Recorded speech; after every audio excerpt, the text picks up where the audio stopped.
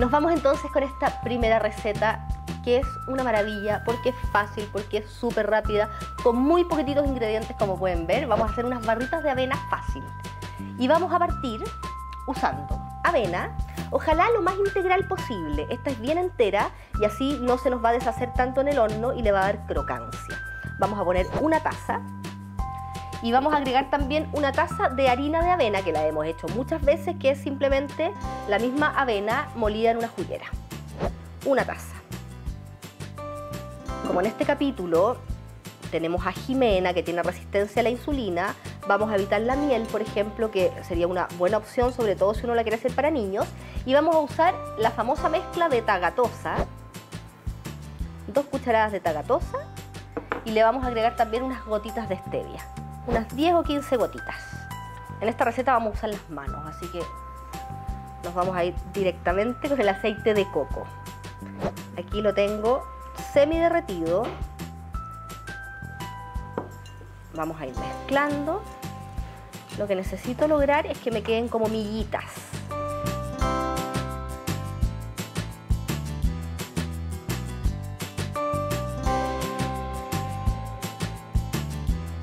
Entonces, tenemos listas nuestras miguitas y le vamos a agregar un poquitito de canela para darle un toque.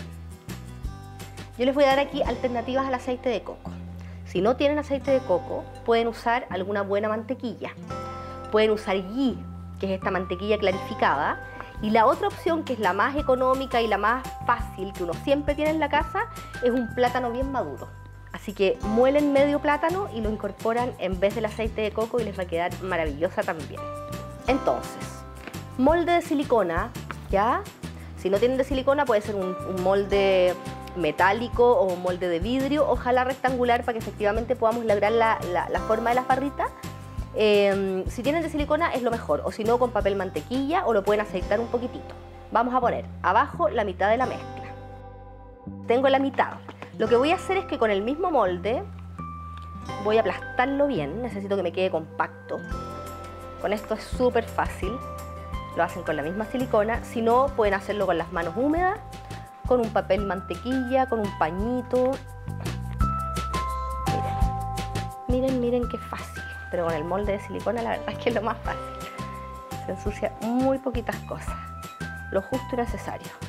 Entonces lo dejamos bien, bien compacto. Y lo que voy a hacer ahora para darle un toque distinto es que le voy a agregar una mermelada sin azúcar mermelada de frutilla en este caso. Vamos a poner una capa de mermelada.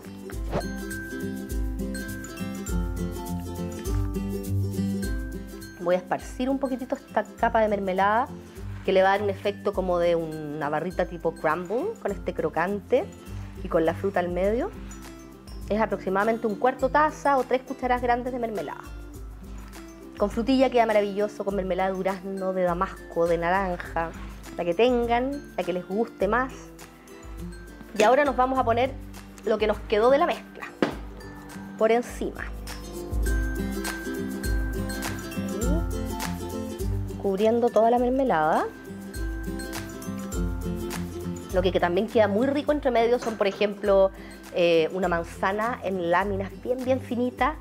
También funciona perfecto. Chips de chocolate, eh, frutos secos, cualquier ingrediente que le dé un toque distinto a estas barritas que la verdad es que son súper sencillas, rápidas, baratas de hacer y muy muy ricas.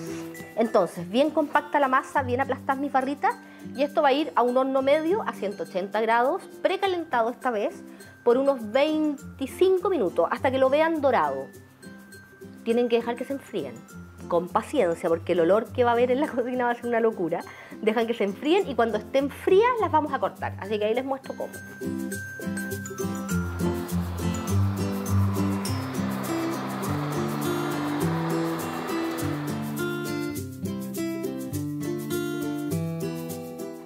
Salieron las barritas del horno, las dejé enfriar, que es una parte súper importante, y miren cómo quedan y lo fáciles que salen desde el molde de silicona. Ahí se me quiebra, pero eso da exactamente lo mismo ya está esto bien compacto, entonces con un cuchillo bueno, bien afiladito, vamos a cortar Pueden ser cuadritos como para picotear, pueden ser barritas, las pueden envolver en papel mantequilla, en papel alusa y así las andan trayendo, las mandan de colación. Miren qué preciosura.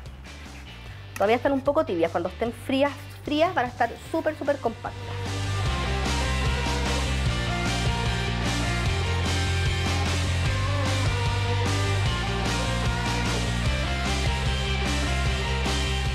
Así de fácil y de rico esta super receta. Yo voy a aprovechar esto de aquí que se me quebró. Le voy a sacar un pedacito para probarla. Mmm, maravillosa. Estoy segura que a la Jimena le va a encantar.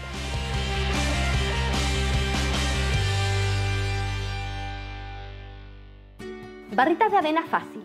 En un bowl ponemos una taza de avena integral, una taza de harina de avena, dos cucharadas de tagatosa, 15 gotas de stevia, 3 cucharadas de aceite de coco, una pizca de canela y mezclamos.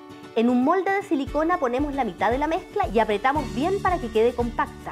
Agregamos una capa de mermelada sin azúcar y luego el resto de la mezcla.